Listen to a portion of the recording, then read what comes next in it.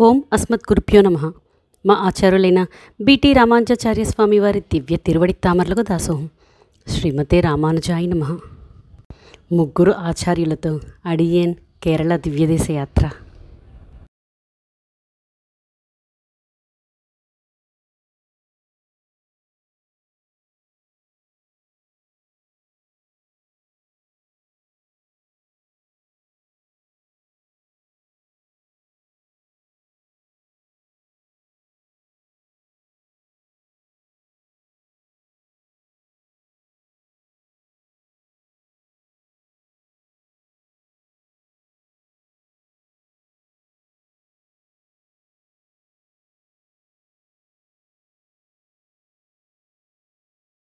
వానమామలై జీయర్తో మన చిన్నజీయర్ స్వామి.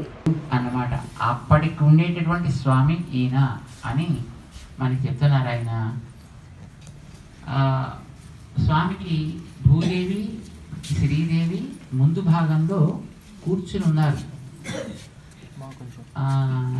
వజ్రాసనంలో కూర్చుని ఉన్నారు ముందర. ఆ పక్కన ఇంకొక ఆయన ఋషి ఉన్నారు ఆయన. కదలి వనంలో దొరికినటువంటి మూర్తిట అంచేత ఆయన పేరు కాదలేయి ఋషి ఋషి అని చెప్పారు ఆయన పేరు. ఆ ఋషి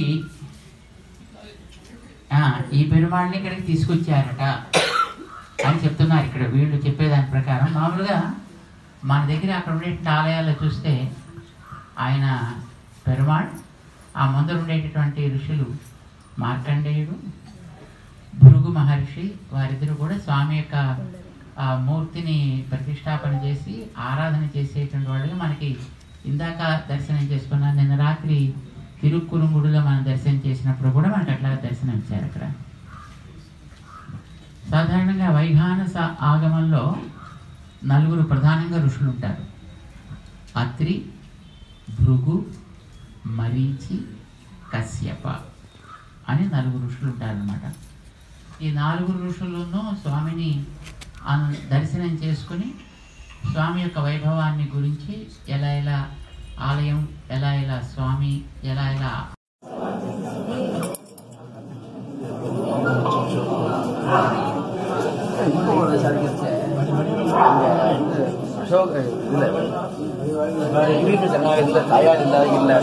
ಇಲ್ಲ ಇಲ್ಲ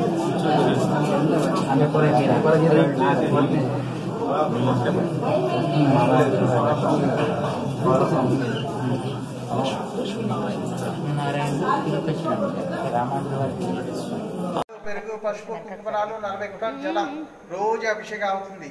అభిషేకం చేసిన నూనెని తీసుకుపోయి ఒక బావిలో పోస్తారు అదే నూనె బావి.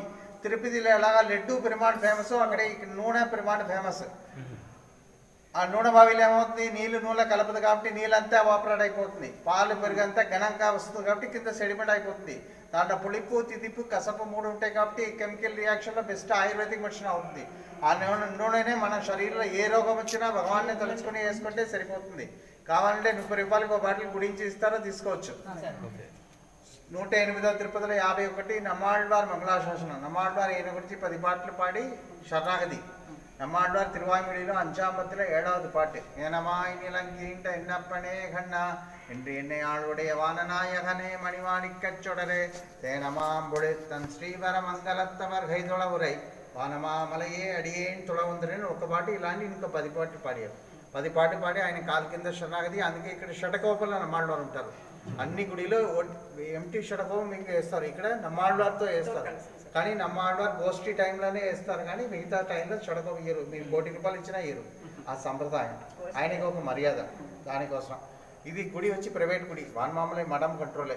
ఈ మఠం వచ్చి మడవాళ్ళ మామని ద్వారా కట్టించే మఠం అవును. ఈ ఫస్ట్ మఠం ఇండియాలో ఫస్ట్ మఠం అనేది మాన్మామడి మఠమే దానిలో ఒకటో చీయర్ పొలిటికల్ చీయర్ ఆయనకి స్వప్నంలో వచ్చి తాయార్ శ్రీ వరమంగై.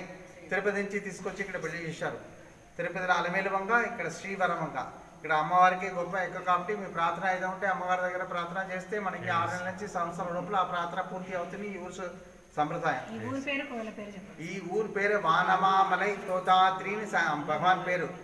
ఊరు పేరు నాన్గు నేరి నాన్గు ఏరి. నాన్గు అంటే నాలుగు ఏరి అంటే చెరువు. భగవాన్ చెరువు నుంచి దొరికినప్పుడు చెరువు నాలుగు అయింది. అందుకే నాలుగు చెరువు నాలుగు ఏరి. ఊరు పేరు. నాలుగు ఏరి అనేది నాగునేరి నాని మారి మారిపోయింది. కింద రాసింది చూడండి. మనవరామములు ధరించిన ముద్రిక? ఆ ముద్ర స్వామి మోదరంగా వేసుకుంటారు వర్షంలో నాలుగుసార్లు వేసుకుంటారు. ఆయన ముద్ర ఇక్కడ ఉంది ఆయన జంట ఉంది కదా రామాను స్వామి పట్టుకున్న జంటలో ఒక్క కంపు దాంట్లో ఉంటుంది. నాలుగు కంపు పెడతారు కదా ఒకటి ఆయనది మూడు కొత్తది వస్తాయి పెరుమాళ్ పేరు వానమామలై తొదాత్రి పేరు పెరుమాళ్ కూర్చున్నారు ఒక కాలు మర్చుకొని ఒక కాలు కింద పట్టుకున్నారు. చేతుల ప్రయోజకరం ఉంది ఆదిశేషుడు పైన జాయ చేస్తున్నారు. ఊర్వశి తిలోత్తమ శామరగైని చేస్తున్నారు శ్రీదేవి భూదేవి. మధ్యలో ఉన్న ఐదు మూర్తి మనకి కనపడుతుంది? దీని తర్వాత సూర్యుడు చంద్రుడు. భృగఋషి మార్కండేయర్ తొమ్మిది మూర్తి లోపల భగవాన్ గర్భగర్భాల్లో తొమ్మిది మూర్తి ఉన్నారు. ఎదురుగా గరుడాళ్వారు పక్కన విశ్వక్సైన భగవాన్ ఎక్కడ దొరికారో అక్కడ గుడి కట్టేశారు. భగవాన్ ఉన్న చోట ఆరు వేల సంవత్సరం ఉన్న చోట. స్వయం భక్తాల్లో ఒకటి శ్రీ దివ్యదేశంలో యాభై జై శ్రీమన్నారాయణ